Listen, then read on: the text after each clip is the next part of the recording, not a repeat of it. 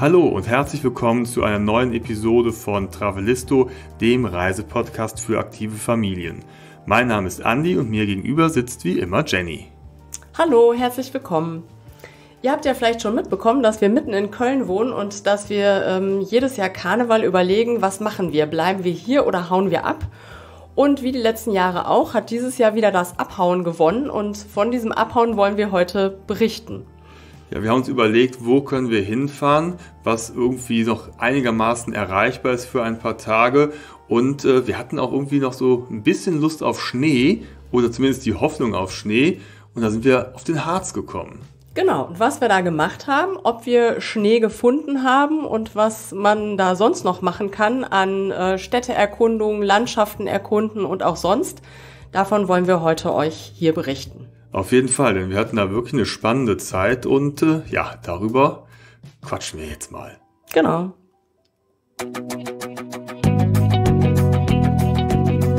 Travelisto, der Reisepodcast für aktive Familien. Hallo, wir sind Jenny und Andy und gemeinsam mit unseren beiden Söhnen bereisen wir Deutschland, Europa und die Welt. Wie wir reisen, was wir erleben und welche Tipps wir für euch haben, darüber berichten wir auf diesem Podcast. Also wir sind losgefahren an Weiberfastnacht, das war der 24. Februar und zugleich ja auch der Tag, äh, an dem Russland die Ukraine angegriffen hat. Und das war so eine absurd, makabre, surreale Situation, hier rauszugucken. Die Massen auf den Straßen feiern schon so wie jedes Jahr, als wäre nichts passiert. Hier kreiste zwischendurch auch noch so ein Hubschrauber direkt über uns und auf der anderen Seite weiß man gar nicht äh, weit von hier entfernt, mitten in Europa findet ein Krieg statt. Es war irgendwie so, ähm, ja, makaber und äh, wir sitzen hier mittendrin bei uns zu Hause und ähm, normalerweise haben wir immer den Begriff genutzt, wir äh, flüchten über Karneval. Und äh, das war natürlich jetzt noch makabrer. Also wir sind natürlich nicht geflüchtet, sondern wir sind zum Glück weggefahren und ähm, haben gedacht, okay, kann man jetzt überhaupt noch wegfahren in dieser Zeit? Und haben dann aber gedacht, ja, kann man schon. Aber ähm, ja, alles so ein bisschen surreal. Es war vielleicht auch ganz gut, dass wir so ein bisschen abseits waren. Ne? Wir waren in der Natur, es war total ruhig und beschaulich. Wir haben eine komplett neue Gegend erkundet. Auf der anderen Seite fand ich es halt schade, weil am Rosenmontag war ja eben auch, wäre eh kein Karnevalszug geplant gewesen, aber es haben sich immerhin 250.000 Menschen zusammengetan hier in der Kölner Innenstadt und haben für den Frieden demonstriert, was ich ein tolles Zeichen fand. Und da wäre ich halt gerne dabei gewesen. Ja. Wir haben uns dann hinterher anders engagiert, aber wir wollen jetzt erstmal über den Harz sprechen, denn das war tatsächlich ja eine sehr schöne Erfahrung, die wir da gemacht haben. Genau. Vielleicht können wir noch mal kurz erzählen, wie wir auf den Harz gekommen sind. Eben haben wir schon so ein bisschen was gesagt. Also Motivation war, noch mal eine ganz neue Gegend kennenzulernen. Wir hatten erst mal ganz kurz überlegt, fahren wir noch mal irgendwie so Richtung äh, Österreich, Schweiz, äh, Süddeutschland. Da waren wir aber erst vor kurzem und gedacht so, oh, wir können nicht noch mal diese Strecke fahren, die nervt einfach so. Wir müssen mal irgendwie in eine andere Richtung fahren und wir hatten auch Lust, was Neues zu entdecken. Wir haben uns als Unterkünfte die Jugendherbergen ausgesucht, haben ja. einfach mal geguckt, wo gibt es denn Jugendherbergen, die im Mittelgebirge sind, wo vielleicht etwas Schnee liegen könnte. Und da sind wir irgendwie auf den Harz gekommen und haben da eine Jugendherberge entdeckt in Thale. Thale hat uns jetzt noch nicht so viel gesagt. Im Nachhinein sind wir natürlich schlauer und sehr froh, dass wir diese als erstes angesteuert haben. Der Weg war jetzt nicht ganz so kurz. Ich glaube also, theoretisch hätten wir auch den gleichen Weg einfach Richtung Süden fahren können, dann wären wir auch wahrscheinlich irgendwo im Alpenvorland gelandet. Ne? So sind wir halt in den Osten gefahren. Ja, so äh, 450 Kilometer waren es, glaube ich, schon. Ne? Es mhm. war schon eine Strecke, aber es hat irgendwie Spaß gemacht, weil wir da sonst nie lang fahren. Ne? So durch so Städte wie Braunschweig oder so und in Sachsen-Anhalt, äh, wo Thale nämlich liegt. Also wir waren im äh, Teil von Sachsen-Anhalt im Harz. Äh, da waren wir vorher beide noch nie. Also wirklich nochmal komplett Neuland für uns war ich jetzt bei Braunschweig, muss ich gestehen, haben wir jetzt nicht so viel gesehen. Ich habe nur mich gewundert, wie viele Autobahnausfahrten es bei Braunschweig ja, das gibt. Wirkt dachte, etwas oh, auseinandergezogen. Muss, ja, muss wohl doch größer sein als erwartet. Naja, es war schon dunkel, als wir in Thale ankamen und äh, man hatte so ein bisschen das Gefühl, der Ort schläft schon. Ne? Plötzlich kam dann ein Mann mit einem Hund vorbei, der ging über die Straße, und sonst haben wir, glaube ich, niemanden gesehen. Mensch her? Und es wirkte sehr ruhig und beschaulich. Und ähm, dann ja, vor allem dieses letzte Stück, ne? Ja. Also wir sind ja losgefahren, die Autobahn war ziemlich voll, war, war jetzt nicht wirklich Stau, aber einfach voll. Und das letzte Stück von Braunschweig fährt man dann so äh, Richtung Süden in den Harz rein.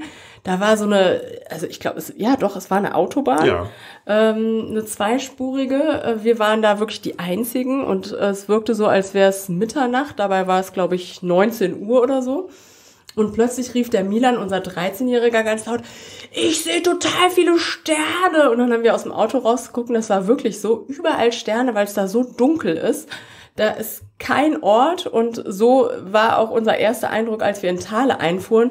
Wo sind die Menschen hier? Also es wirkte doch etwas ausgestorben, würde ich sagen, auf den ersten Blick. Ja, wir waren jedenfalls ganz froh, als wir dann diesen Weg entlang gefahren sind in das Bodetal rein.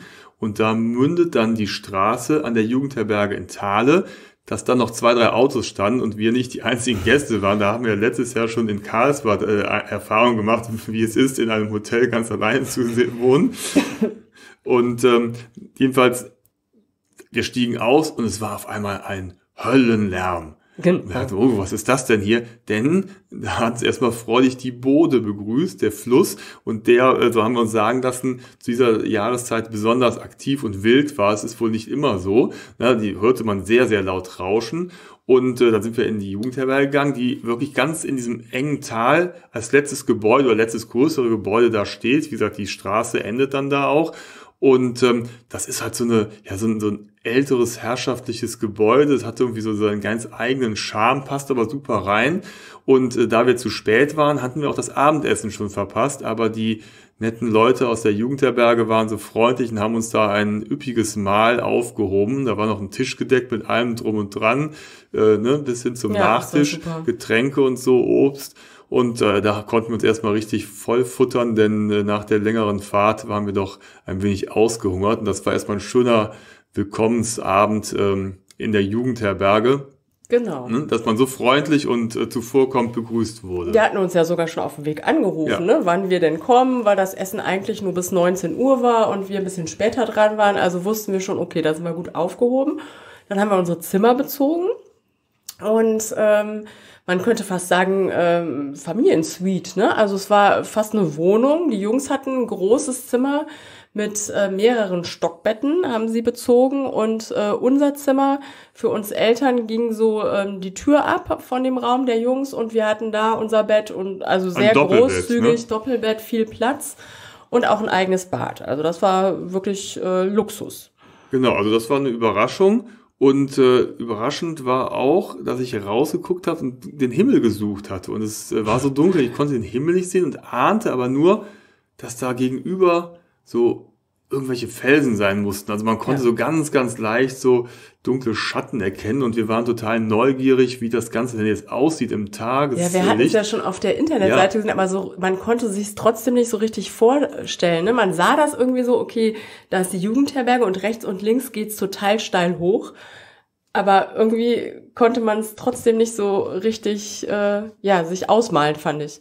Ja, und so teuer war es dann am nächsten Morgen. Da habe ich also erstmal äh, die Gardinen aufgezogen und rausgeguckt. Und ja, also das ist halt ein enges Tal und da sind wirklich schroffe Felsen, die ragen hoch mit Spitzen. Also sowas habe ich selten in Deutschland nee, gesehen. Und du guckst halt in dieser Jugendherberge wirklich auf dieses krasse Felspanorama und das ist einfach schon eine unglaublich coole Lage. Ne? Ja.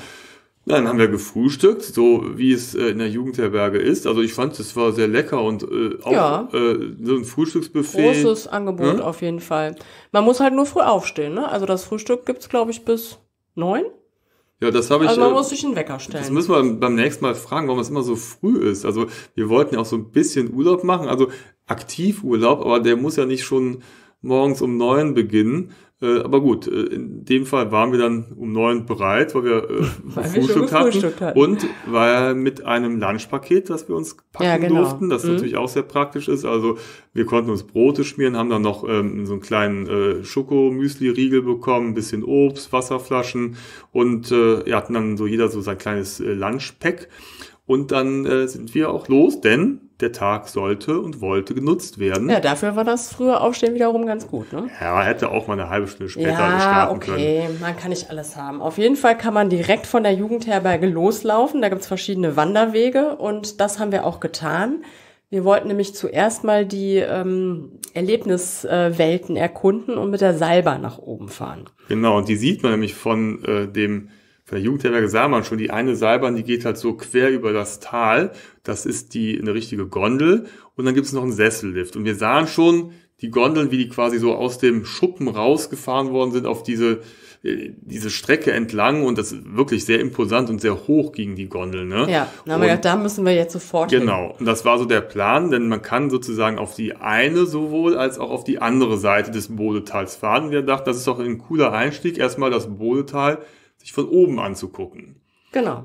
Und umso größer war die Ernüchterung, als wir dann bei der Sesselbahn angekommen sind. Nee, Entschuldigung, bei der, beim, bei der Gondel. So. Bei der Gondel. Aufpassen, es gibt den Sessellift und die Gondel. Und die war nämlich geschlossen, weil es zu sehr gewindet hatte. Ja, und dann sind die Gondeln also wieder äh, in ihren Stall sozusagen zurückgefahren und wir konnten auch nicht hochfahren. Da haben wir überlegt, okay, was machen wir jetzt? Ich war aber ganz kurz ja. ganz erleichtert, weil man sah, wie die da oben ja. geschwenkt wurden durch den Wind und also es war wirklich gedacht, ziemlich Ich bin hoch. froh, dass ich jetzt hier unten stehe und nicht in dieser Gondel sitze. Ja. Zumal, kommen wir äh, später nochmal drauf, die Gondeln, es äh, einige Gondeln gibt, die ein ähm, einen gläsernen Boden haben und äh, wenn du dann durch diesen Boden auf die Bode, haha, schaust und schaukelst, ähm, habe ich nur gedacht, okay, vielleicht kommen wir noch mal wieder, wenn das Wetter etwas schöner ist. Über die Leute von der Seilbahn, die waren total freundlich, dann haben wir überlegt, die haben uns noch Informationen gegeben, meinten vielleicht wäre es am nächsten Tag wieder möglich, aber die Sesselbahn, die fährt ja noch, der Sessellift. Genau, dann haben wir das sozusagen vorgezogen und sind auf die andere Seite hochgefahren zur Rosttrappe. Genau, das ist eine kleine, schöne Fahrt mit dem Sessellift. Ne? Wir haben da, weil es auch. Ja, so ein bisschen wie im Skiurlaub. Genau. Äh, Nur ohne Schnee, der war da nämlich noch nicht. Nee, da war weit und breit kein Schnee, Schnee, aber dafür war oben eine große Tafel, wo erstmal erklärt wurde, warum die Rosttrappe Rosttrappe ist oder wie die Geschichte ist und warum die Bode auch Bode heißt. Ne? Genau. Das auch noch. Genau. Sollen wir mal kurz erzählen? Ja, das kannst du, ja. glaube ich, gut weitergeben. Ne? Ja, ich kann mich an diese äh, Story noch erinnern. Und zwar war es so, es gab den riesen Bode, nee, Bodo, Bodo. Und Bodo war wohl so ein bisschen liebestoll, hatte ein Auge geworfen auf die schöne Königstochter Brunhilde. Brunhilde wollte allerdings nichts von dem riesen Bodo. Und äh, er hat es irgendwie nicht so wahrhaben wollen, ist ihr trotzdem äh, nachgestellt. Und äh, sie war mit ihrem Pferd unterwegs, also mit ihrem Ross. Und äh, er war wohl schon kurz hinter ihr und hatte nichts Gutes im Sinn. Und da wusste sich Brunhilde nicht anders zu helfen, als dem Pferd die Sporen zu geben und dieses äh, Ross, obwohl das äh, Tal, also ich meine, das Tal ist sehr eng, aber trotzdem schon so ein paar Meter, um auf die andere Seite überzusetzen. Ihr Ross hat es geschafft, ist auf der anderen Seite des Bodetals angekommen. Man sieht den Huf noch, das ist die Rosstrappe. Und den, ähm, Hufabdruck. den Hufabdruck. Und äh, der gute Bodo hat es auch probiert und äh, wollte hinterher, hat es aber nicht geschafft, ist abgestürzt, äh, in den reißenden Fluss gefallen, wurde in einen Hund verwandelt und der Fluss heißt seitdem nach Bodo benannt, die Bode. Ja, so ähnlich war es doch, oder? Ja, also die Story. Das ist ja ein und wir haben Erfolg uns so ein bisschen gefragt, Bodo. ja, ob er es wirklich verdient hat, dass das gesamte Bodetal und die Bode nach ihm benannt wurde. Es war jetzt nicht so die ruhmreiche Aktion von ihm, ne? Nee. Aber ähm, die Jungs haben sich nach der Geschichte auch tatsächlich gefragt, die kann doch hier niemals mit dem Pferd rübergesprungen sein. Denn seien wir ehrlich, das Bodetal ist äh, nicht nur irgendwie fünf Meter breit, sondern wenn man da gerade oben auf der Rosttrappe steht wo es auch ziemlich windig war an dem Tag. Ne? Das war, hat man gemerkt, so, uiuiui, hier Vielleicht geht's. Vielleicht hatte äh, Brunhilde an dem Tag Rückenwind genau. oder Ja, so. aber auch, also sagen wir mal, es ist schon mehrere hundert Meter breit. Also äh, das äh, muss schon ein Pegasus gewesen sein, äh, mit dem sie ja. darüber geflogen ist. Aber egal, das ist die Story. Das ist die Rosttrappe. Macht das Ganze natürlich noch mystischer, diesen Ort. Mhm. Aber diese Rosttrappe, da ist, wenn man da hochgeht, so ein felsiger Weg, da sind zum Glück auch überall Gitter, weil das geht wirklich auf und ab und da geht es auch steil runter und man hat einen, einen sensationellen Blick über dieses Bodetal. Ja. Wie gesagt, wir, wir kannten das vorher gar nicht, waren total überrascht und, und, und auch ein bisschen überwältigt, weil es einfach total krass aussieht. Ne? Ja. Richtig Und da äh, stehen überall so knorrige alte Eichen und dann ähm, ist es aber auch gut gemacht, ne, dass man so verschiedene Aussichtsplattformen hat und runtergucken kann. Und das ist wie so ein Sandsteingebirge, ne? Also überall so äh, Felsen, die da rausragen. Dann die Bode, die man überall sieht, die, die und da äh, und hört, genau, die da lang tost. Also das ist auch so eine Landschaft, die äh, Kindern, die sonst sagen, öh, wandern, öde, langweilig, echt Spaß macht. Ja, und eigentlich hatten wir vor, mit der äh, mit dem Sessellift wieder runterzufahren, ja, aber stimmt. dann entdeckten wir einen kleinen Wanderweg, der so zickzack den äh, Berg runterging und dann irgendwo unten im Tal bei der Bode endete. Und dann haben wir gedacht, wisst ihr was, komm, jetzt ist doch wir hier laufen. irgendwie so eine coole Landschaft, lass uns die mal zu Fuß erkunden, lass uns mal laufen. Ja. Man muss dazu sagen, es war halt Winter und es sind hauptsächlich Laubbäume. Die hatten alle keine Blätter, deswegen sah es so ziemlich karg aus und sehr braun. Ne, ich habe auch Fotos gesehen, ich weiß nicht, ob das auch in der Jugendherberge ging, also ja, Fotos, ja. wie das im Sommer da aussieht, da ist es natürlich total grün, das ist nochmal eine ganz andere Welt. Aber ich finde, es hatte gerade was, ja. weil es halt so, so verschiedene Brauntöne waren. vom, vom Felsen her und so weiter. Ne? Also, genau, also wenn ihr auf unserem Blog was Braunes seht, ist äh, dann ist das der Artikel über das Bodetal. Genau. Und dann sind wir da runtergelaufen. Das war eigentlich gar keine große Aktion. Ne? Und dann waren wir irgendwann unten äh, am Wanderweg, der entlang der Bode führte, mhm. nochmal zurück an so einen urigen Biergarten. Ne? Ja, der hatte auch, auch, irgendwie so eine Auszeichnung gewonnen. Ja, ne? Einer der schönsten Biergärten Deutschlands, der Welt. Ja, des Bodetals? Nee, genau. Äh, schon ein bisschen größer gefasst. Der war auch sehr, sehr urig. Hatte allerdings zu zu der Zeit. Ja, und Aber im Sommer bestimmt ein sehr lauschiges Plätzchen. Gab auch eine coole Ferienwohnung, die man dann mieten konnte. Ja, da ja wirklich dann komplett abseits, mhm. weil da fährt auch kein Auto hin. Ja, und dann sind wir irgendwann zurückgekommen zur Jugendherberge wo wir uns mal kurz erholt hatten nach dieser tollen Wanderung. Genau, und das haben wir noch gar nicht erzählt. Da waren nämlich inzwischen auch unsere Kölner Freunde angekommen, äh, mit denen wir uns dort verabredet hatten. Die sind nachgekommen. Die wollten aus irgendeinem Grund noch Station machen in Braunschweig auf der Hinfahrt und waren dann inzwischen auch angereist. Und dann haben wir uns erstmal so ein bisschen verquatscht. Wir hatten nämlich in der Jugendherberge vor unserem äh, großen Familienzimmer oder Familiensuite hatten wir so eine kleine Sitzecke, ganz gemütlich so am Ende des Gangs mit dem Tisch. Und äh, da haben wir uns erstmal niedergelassen und äh, gequatscht und gequatscht und irgendwann so, oh, äh, vielleicht sollten wir noch ein bisschen weiter ähm, Ausflüge machen und das Bodetal weiter erkunden, denn so lange sind wir ja gar nicht da. Und dann sind wir wieder aufgebrochen. Genau, dann sind wir gefahren nach Blankenburg. Ja, erstmal, war, erstmal haben wir Thale City erkundet. Ne? Ach so, das willst du noch erwähnen, okay. Ja, also wenn das jemand machen möchte, äh, da gibt's verschiedene Dinge. Da kann man so ein bisschen rumschlendern. Da gibt's auch so eine äh, Therme, die haben wir jetzt allerdings nicht erkundet. Dafür waren wir nicht lang genug da. Und äh, die Jungs haben da auf so einem Dorfplatz irgendwelche Tale, einheimische Tale-Jungs kennengelernt und Fußball gespielt. Und wir haben irgendwie noch einen kleinen Snack zu uns genommen, waren tanken, haben uns einen Kaffee geholt, waren einkaufen und dann sind wir weiter gereist sozusagen. Habe ich eben Blankenburg gesagt? Dort gibt es einen Wanderweg und der klang wirklich toll und damit konnten wir auch die Jungs cashen, denn der führte nach Timmenrode zur Teufelsmauer.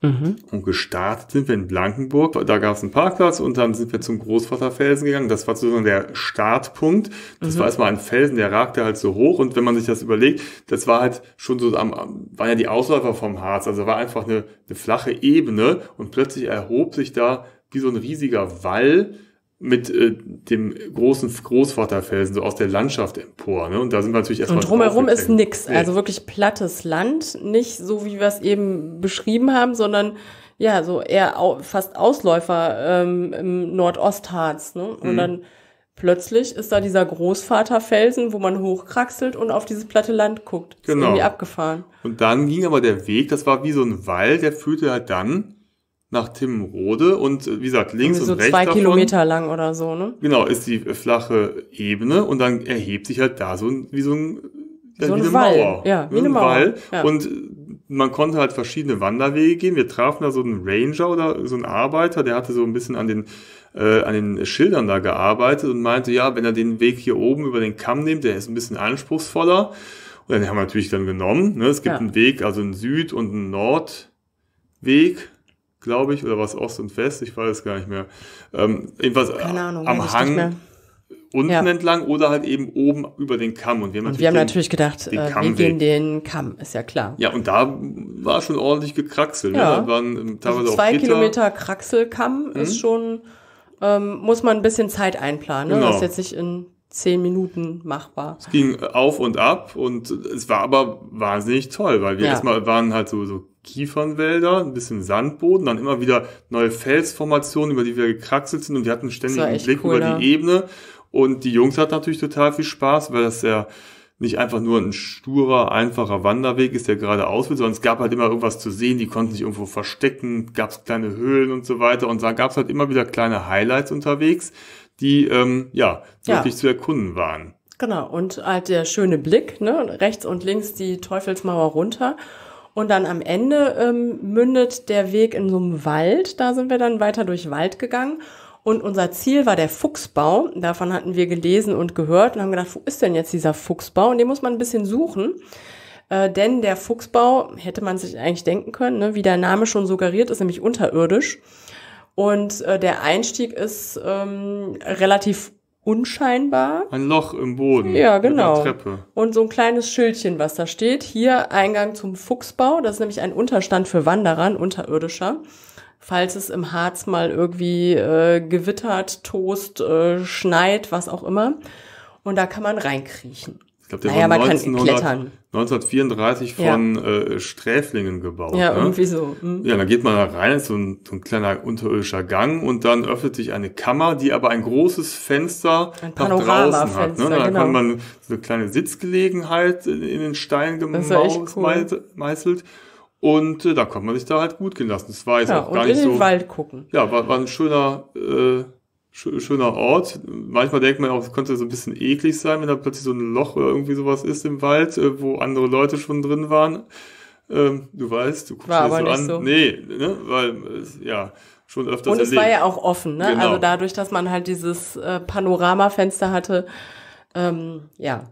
Genau.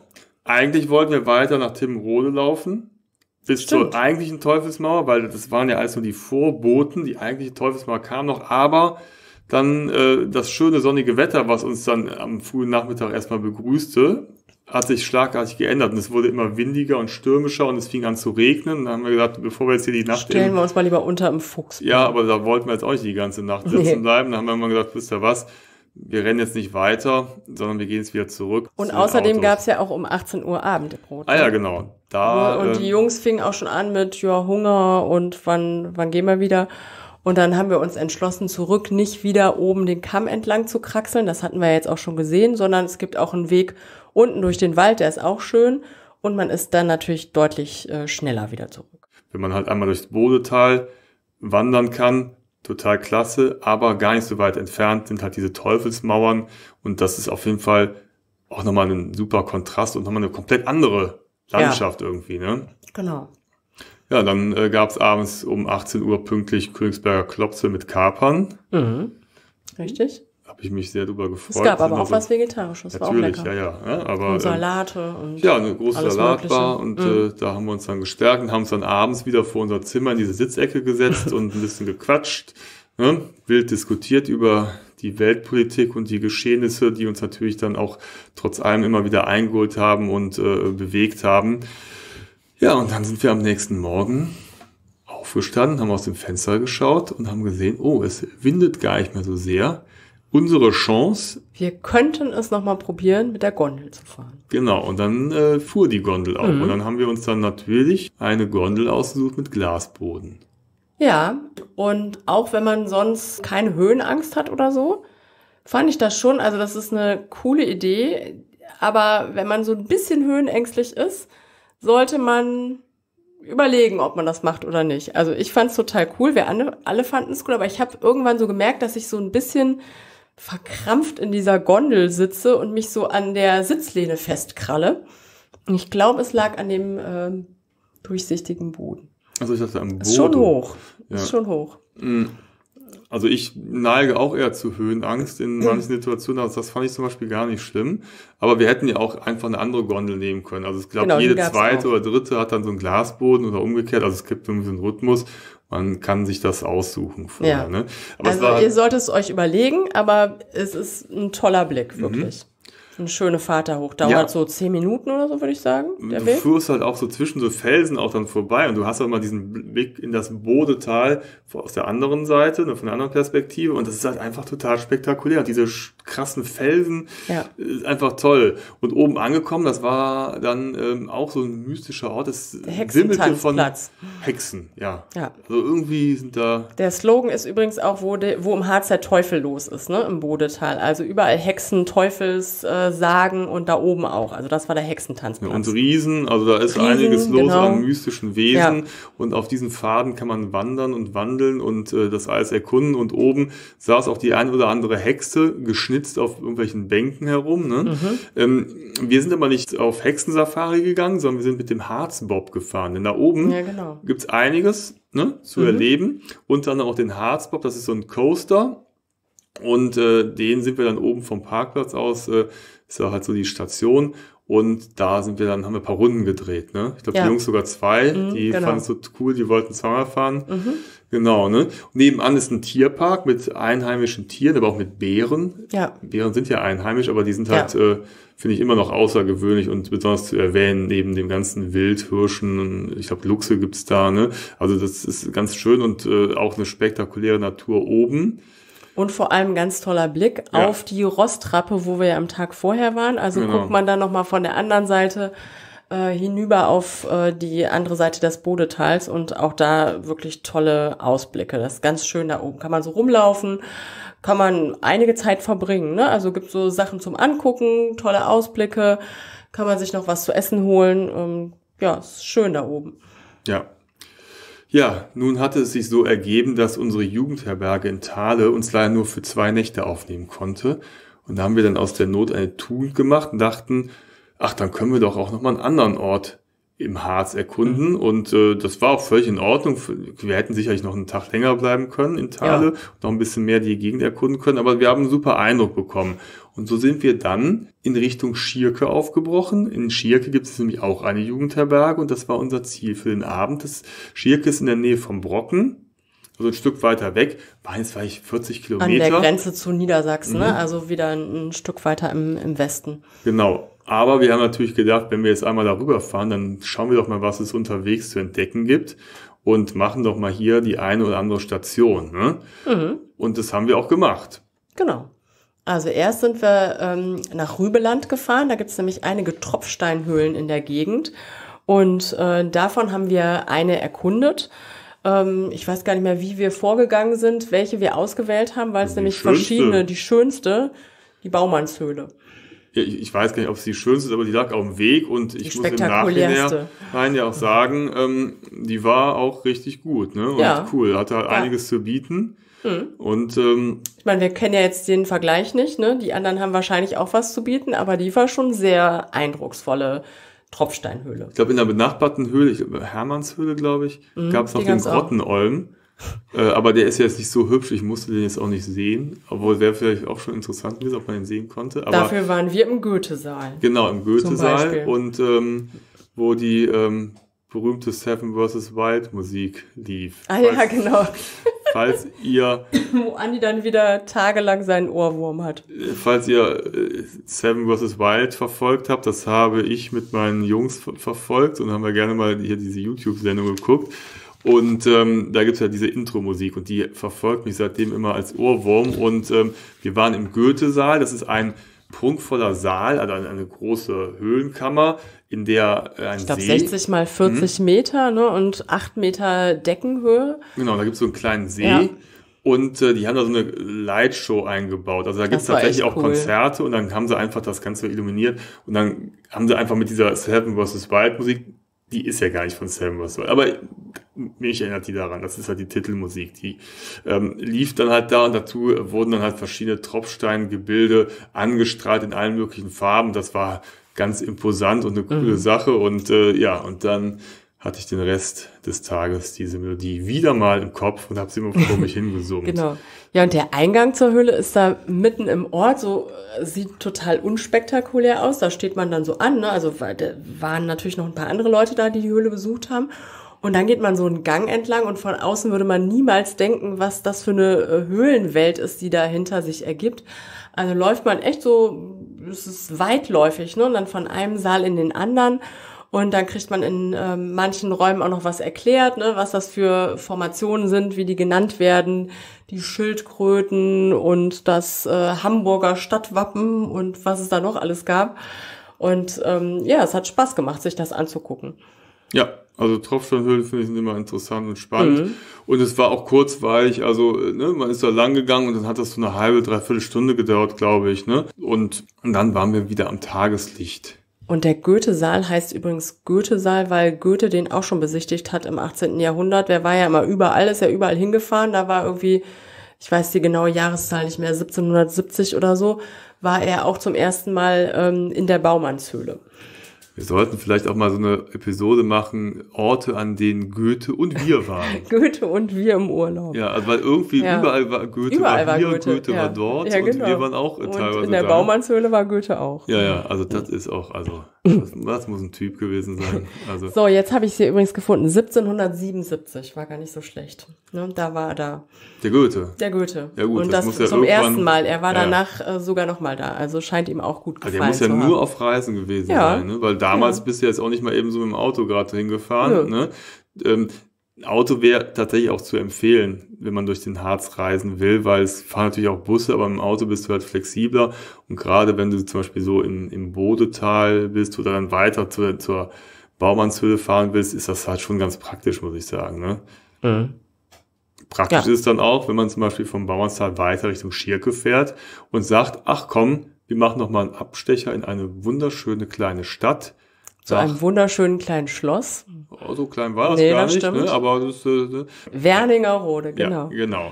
Schloss Auch Werningerode. immer schon gehört, war so ein Begriff. Hm? Werningerode, wunderschöne Altstadt. Das Schloss hatte ich gar nicht mehr so am Schirm. Aber das kam uns dann schnell wieder, als wir da waren. Und als wir so ein bisschen schlau gemacht haben, das war nämlich eine Filmkulisse Mhm. Von- Und das kennt ihr bestimmt. vom äh, kleinen Gespenst. Ne? Der Ja. wurde vor ein paar Jahren da gedreht. Und das kleine Gespenst, das war bei uns auch in der Familie immer sehr präs äh, Das präsent. kleine Gespenst äh, aus dem Film äh, sieht nämlich so aus, wie der Matto, unser jüngerer Sohn, früher aussah. Äh, jetzt natürlich überhaupt nicht Nein, mehr. auf gar keinen Gar Fall. nicht. Aber so mit zwei oder so, als der Film rauskam, gab es da schon eine frappierende Ähnlichkeit. Und wenn ich jetzt äh, da diese Bilder, diesen Filmplakat sah, habe ich gedacht, oh, schon, schon immer noch ein bisschen was dran. Er hat einen großen, runden Kopf mit großen Augen. Ne? Also Genau. ist, Und ein niedliches Gesicht. genau. Also Und ein, ist sehr weiß. ein, ein sehr sympathisches Ja. Gespenst und äh, das hat natürlich dann auch den Besuch im Schloss ein bisschen attrakt- attraktiver gemacht. Wir Da gibt's sogar Schlossführungen, ne? Ja. Kleine Gespenst-Schlossführung. ist ganz cool. Genau. Und Wir haben den Wagen dann irgendwo am Stadtrand abgestellt, so auf halber Höhe, sind den Rest dann zu Fuß hochgegangen. Und das ist wirklich schön und in Schuss. Mhm. Und ähm, Kann sich auch mit einer Pferdekutsche hochbringen lassen, aber die Pferde taten mir echt ein bisschen leid. das wäre mir auch zu romantisch gewesen, wenn wir Ja. da mit der Pferdekutsche Und da dann auf sitzt du da in hoch- so einem Planwagen und diese armen Gäuler ziehen dich da hoch. Nee, also Man kann es auch ganz gut laufen. gerade noch geschafft. Wir waren ja quasi Ja. voll im Training. Wir sind ja schon durchs Bodetal und durch oder über die Teufelsmauer gelaufen. Da kriegen wir wohl noch Ja. Sinn, den Weg hoch zum Schloss zu gehen. Mhm. Da haben wir uns Tickets besorgt und dann ab ins Schloss rein. Da konntest du dann die ganzen äh, Räumlichkeiten anschauen, die teilweise noch ja alle möbliert waren und man konnte sich sehr gut vorstellen. Mir wäre es einfach zu voll gewesen in so einem Schloss, ne, mit den ganzen Möbeln und die waren ja auch alle relativ klein. Allein die Betten, wir haben den da teilweise zu zweit in so einem Die Mini-Bett waren halt noch ein geschlafen. bisschen kleiner Ja. damals und außerdem hatten die getrennte Schlafgemächer. Ach so, Die äh, Grafenfamilie zu Stolberg-Wernigerode. okay. hat er nämlich gewohnt und äh, das Schloss ist in dem Zustand, ähm, wo die im 19. Jahrhundert äh, dort gelebt haben. Und also ich fand das ganz interessant, da durchzugehen, weil zum Beispiel ne, der ähm, Essenssaal noch gedeckt war und dann sah man irgendwie noch so ähm, oder be bekam Informationen äh, von der Menüliste als ähm, äh, Kaiser Wilhelm mit seiner Gattin zu Besuch war und was sie da gegessen haben und wer wo saß und so war ganz äh, interessant und wer wo sein seine Schreibstube, seine Bibliothek, sein Schlafgemach und was auch immer hatte. Also kann man ganz äh, gut durchgehen. Gibt's auch noch so eine kleine Kunstsammlung Spaß gemacht hat, durchzugehen. Wobei du ja immer gesagt hast, ich bin so langsam, ne? Jetzt, weil du, du dir bist da durchgerannt und äh, ich habe es mir in Ruhe Ich angeguckt. bin zügig gegangen, Ja. habe mich versucht, dem, dem Tempo der Jungs anzupassen. Was schnell war. habe aber auch das Ganze auf mich wirken lassen. Ich finde es ganz interessant, wie sehr sich das doch ändert. Also heute spricht man eher von Minimalismus und so einer cleanen Einrichtung und da war wirklich alles, alles bis ins Detail verziert. Und selbst die Tapeten, die hatten so eine Reliefmusterung Ja, und es war halt einfach alles unheimlich massiv und hättest du einfach mal weiße Wände, dann hätte das, ach, das hätte ganz Ja, die hatten auch noch so eine schöne Ferienwohnung, ne? So für Gäste, sah auch sehr schick aus. Und am schönsten fand ich den Frühstücksraum mit so Erkern, wo man wirklich so über den gesamten Harz blickte, wo morgens die Sonne reinscheint.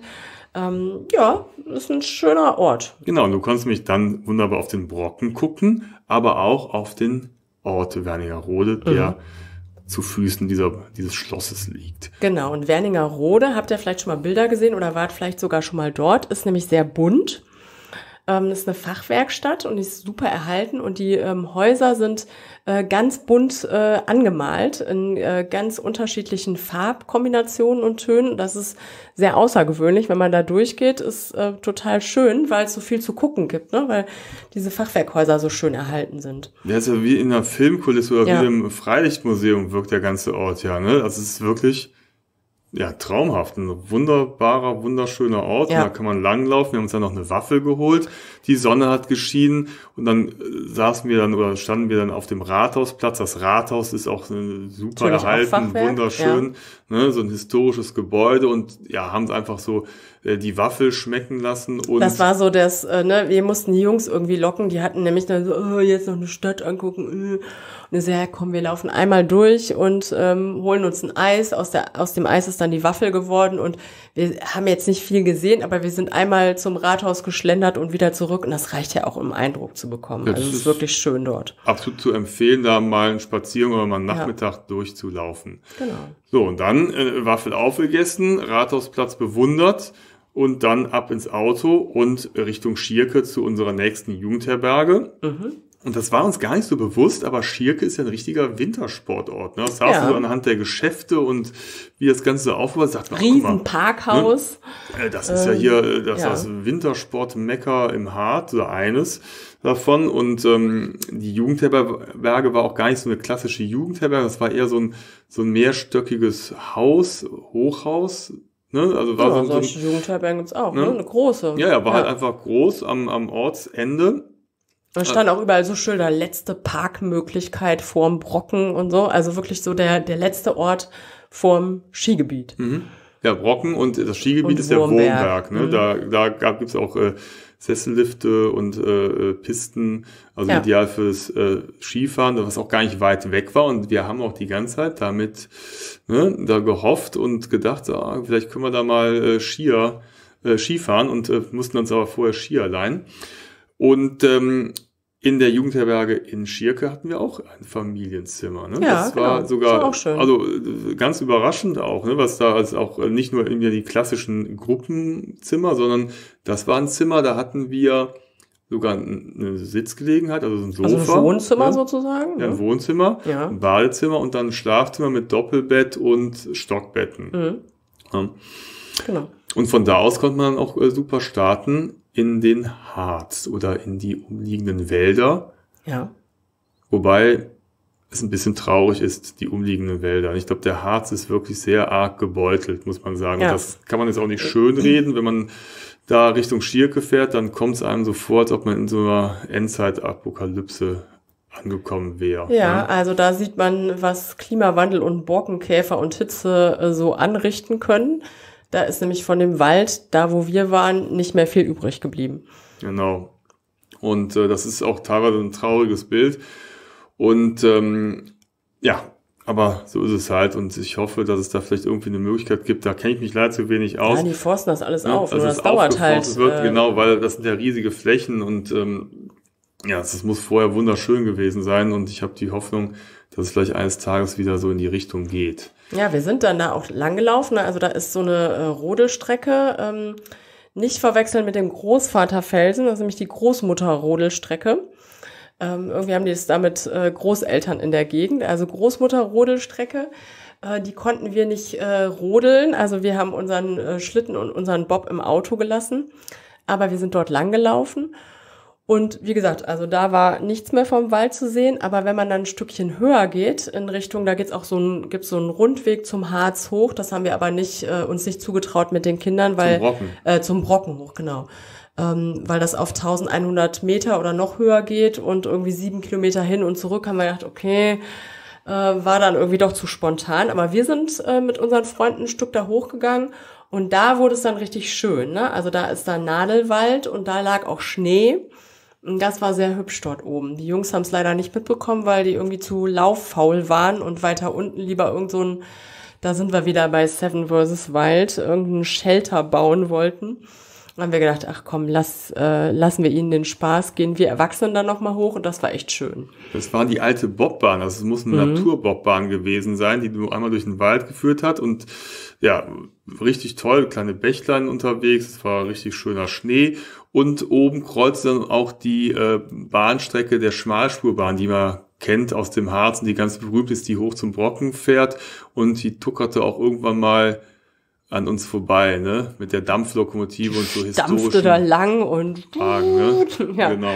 Genau, haben wir erstmal ein paar Fotos gemacht, genau. wie sich ja, das, das so gehört als Touri im Harz. Ne? Das ist ein Muss, das ist also so äh, hübsch, diese Dampflokomotive. Ja. Ne? Genau, also wer Auf nicht hochwandern Fall. will, der kann auch äh, mit der Schmalspurbahn genau. natürlich fahren. Also als Präsenz dort. Wir wollten ja eigentlich, hatten wir ja spekuliert, dass wir Skifahren. Genau. Und das wäre auch grundsätzlich möglich gewesen, aber es war ein Sonntag und es war traumhaftes Wetter. Und ich hatte vorher beim Skiverleih angerufen und gefragt, ob wir Skiausrüstung leihen können.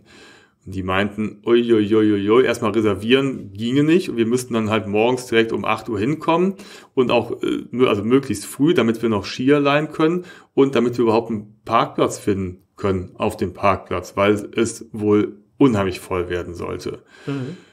Und da haben wir überlegt und dachten, ach, wisst ihr was, also wir hätten zwar schon Lust, das einmal auszuprobieren, aber jetzt so einen Stress zu haben und es wirklich an einem Sonntag, wo wahrscheinlich die ganze Umgebung und halb Niedersachsen und äh, die ganzen anderen Orte äh, hier hinkommen zum Skifahren, dass wir gesagt haben, ach, dann verzichten wir und wir gucken einfach nach einer schönen Rodelstrecke. Das war aber leider ja nicht so erfolgreich, weil wir einfach zu niedrig waren, es da halt keinen Schnee gab. Aber wir hatten trotzdem einen schönen Tag, haben eine Wanderung gemacht, ja. sind hochgefahren. Ne? Also wenn und ihr hinfahrt, äh, fahrt nicht am Wochenende mit schönem Wetter, sondern irgendwann anders und checkt vorher die Schneeverhältnisse. Genau, weil in, äh, am Wurmberg von Braunlager aus gibt es eine Skipiste und äh, Sessellift und da wird auch im Notfall beschneit. Also das heißt, man kann auf jeden Fall ganz gut Skifahren da. Mhm. Aber halt eben nicht unbedingt an einem Sonntag. Ja. Und äh, ja, hätten wir einfach da drehen müssen. Im Nachhinein ist man immer schlauer. Hätten wir einfach ja, gesagt, ja. komm, wir fahren Samstag oder wir fahren Montag. Aber so äh, war es halt einfach so. Ja. Ne? Aber es gibt auch noch ein paar andere Sachen, außer Ski und Schnee und äh, Wintersport. Was wir gemacht haben, wir sind in ein Erzbergwerk gefahren, das äh, Schaubergwerk Büchenberg, das ist dort ganz in der Nähe. Und ähm, das müsst ihr auf jeden Fall auch machen, wenn ihr da seid. Das hat echt Spaß gemacht. Das ist ein ähm, Erzbergwerk, was äh, seit 1970 stillgelegt ist. Und äh, man kann das besichtigen. Das macht total Spaß. Das war auch für die Kinder echt eine super lustige Führung. Äh, der Ort ist schon so sehr verwunschen, wenn man da parkt, ist so ein Lost Place, ne, da mit die, so, alten ähm, die alten ne? Verwaltungsgebäude, von denen nicht mehr viel steht, überall Graffiti und ne, das, da so fing es schon an, ne, also das ist ganz äh, spannend zu sehen. Und dann führt so ein äh, Weg äh, hinunter und man kommt zu dem alten Bergwerk, Einstieg und da gibt's Führungen, die man buchen kann. Es gibt ja in der Region einige Bergwerke, mhm. aber ich fand, das war irgendwie so eines der urigsten. Ja, ich habe die anderen nicht gesehen, urig. aber so wenn ich so Fotos vergleiche, äh, das war halt schon irgendwie in so einem Birkenwäldchen, ne, da waren so alte Fördertürme, standen da noch und dann äh, ging es halt da einfach so unspektakulär, so gab es den Eingang und dann ging die für Ging's die erstmal ein paar runter, ne? Stufen ne? runter, genau. ne? Nicht so tief, ich glaube 50 Meter äh, sind wir auf die ähm, oberste Ebene mhm. runtergegangen. Mhm. Es gab insgesamt ähm, ich weiß gar nicht mehr, wie viele es waren, sechs Ebenen oder so. Auch, ja. Und wir waren auf der obersten und haben das dort besichtigt und haben da nicht nur viel erfahren über die ja doch sehr harte Arbeit im Erzbergwerk, äh, sondern äh, unser Guide hat das auch super äh, kurzweilig und amüsant gemacht, äh, dass auch unsere Jungs viel Spaß hatten und wir. Ja, der war auf jeden Fall ein Original und äh, in der Tradition der Bergleute auch äh, ne, in dritter Generation. Ich glaube, sein Großvater, sein Vater hatten im Bergwerk ja, genau. gearbeitet. Mhm. Er hat dann äh, Dachdecker gelernt, wollte sozusagen. Genau, da hatte das Bergwerk ja schon geschlossen. Genau, und wollte dann irgendwie so einen Gegenpunkt setzen, ist aber dann am Ende doch als Guide im Bergwerk gelandet. Ne? Mhm. Und er hat super lustig gemacht. Also ja. ähm, hat uns mal alle Arbeitsplätze dort gezeigt und ähm, ja, das war schon echt äh, hart ähm, hat auch äh, die Lautstärke, er hat uns jedes Mal vorgewarnt, ne? also wer lärmempfindlich ist, bitte die Ohren zuhalten und dann hat er da mal alle Gerätschaften angeschmissen und das war schon sehr eindrucksvoll. Fängt ja an mit der Druckluft. Ähm Lampe, die durch Druckluft treibt so ein Dynamo an, dadurch wird die Lampe erstmal, äh, äh geht die an und erhält den Raum. Sie ist relativ schwach, aber es hat tierisch laut. Und dann kommen so die verschiedenen Funzel, ne? Bohrer. Und es waren einfach zig Geräusche. Ja. also da wirst du halt schnell taub. Das war ja leider auch so. Ne? Ja, und, und Alkohol hat wohl auch ganz gut ja geholfen. Ich glaube, er hat das aber ganz, ganz gut erklärt. Also erstmal die, über die ganzen Gesteinsarten, dann die Art und Weise, wie es unten funktioniert hat, wie stressig das auch ist, in Schichten zu arbeiten, wie anstrengend das für die Menschen war, wie der Lärmpegel, aber trotzdem muss es ja auch eine gute Zeit gewesen sein. Also die Leute haben das Beste draus gemacht und er hat es auch immer mit Humor beschrieben. Und so haben die Leute auch da gearbeitet, obwohl es ein total ja, ungemütlicher denke, und Gott, wie kann man da freiwillig ne? arbeiten? Was ähm, die Jungs am eindrucksvollsten fanden, war die Tätigkeit der Auszubildenden, ja. was sie da erledigen müssen. Da kam nämlich irgendwann die Frage auf, was tut ein äh, Bergmann, wenn er mal muss, groß muss? Und da gab es solche Tonnen, äh, wo sich alle draufsetzen und irgendwann waren die dann auch mal voll. Und das war der Job der Auszubildenden, die zu entleeren. Und ähm, er hat das dann sehr äh, eindrücklich geschildert, äh, was passiert, wenn man mit dieser äh, kleinen Funzel da langläuft, das Ding überschwappt, man den Halt verliert und so weiter und so fort. Es war sehr lustig. Das war so immer das Highlight ja. am Ende der Führung. Ja, ne? da musste man noch nicht mal mehr am Ende hinzufügen, sowas wie, seht ihr Jungs, äh, macht euer Abi damit was aus euch. War überflüssig, haben sie auch so verstanden, die Message, glaube ich. Zum Glück gibt es ja, ja. eher selten noch Bergwerke und äh, diese genau. Arbeit. Ne? Mhm. Ja, das war die letzte Station für uns im Harz. Ne? Ja. Das war auf jeden Fall nochmal sehr abwechslungsreich, weil wir haben, ähm, ja, wir waren oben auf Bergen, wir waren tief in Höhlen, wir waren ganz unter der Erde in einem Bergwerk. Ne? Wir haben äh, Schmalspurbahnen gesehen, waren in historischen Altstädten und haben äh, Dampflokomotiven beobachtet. Also es ist sehr abwechslungsreich und mhm. da kann man wirklich einiges erleben und zwischendurch natürlich immer wieder diese wunderbare Natur, wo man durchaus äh, die eine oder andere Wanderung unternehmen kann. Ne? Ja. Und wenn man Glück hat und vielleicht äh, ja ein bisschen besser plant, auch mal Skifahren kann oder rodeln kann. Ne? Ja. Wobei unsere Freunde sind ja dann nochmal an dem Montag äh, auf die Rodelpiste gegangen. Genau, Montag. die haben es geschafft. Ne, wir mhm. Die waren tatsächlich noch rodeln. Ja, auf das Bergwerk eingestellt und die haben es dann nochmal geschafft mhm. und sind rodeln gegangen. Also das wäre auch noch möglich gewesen. Aber man kann ja nicht alles haben. Nein, wir mussten dann irgendwann auch wieder nach Hause fahren, Schule und Job riefen. Genau. Aber wir hatten auf jeden Fall eine sehr schöne Zeit und der Harz hat uns überrascht und ist eine sehr, sehr schöne Gegend. Ja, ich würde es auf jeden Fall gerne noch mal im Sommer sehen. Ist bestimmt auch total schön zum, zum Wandern. Ne? Ja. Also das fand ich in der Zeit schön. Und da ist es, äh, das alles in Grün zu sehen, ist, äh, stelle ich mir auch noch mal echt toll vor. Also ja, bestimmt zu jeder Jahreszeit äh, toll hinzufahren. Und ähm, wenn ihr noch mehr äh, Tipps und Links haben wollt, dann guckt gerne mal auf unserem Blog. Da haben wir zwei Artikel äh, drüber geschrieben, einmal über das Bodetal und ähm, einmal über Schirke und Umgebung. Da findet ihr auch nochmal alle Informationen. Genau, und alle Links zu den äh, Attraktionen, Aktivitäten, den Unterkünften, den Jugendherbergen. Genau. Also seid ihr bestens gewappnet, wenn ihr mal den einen oder anderen Tipp haben wollt für einen Besuch im Harz.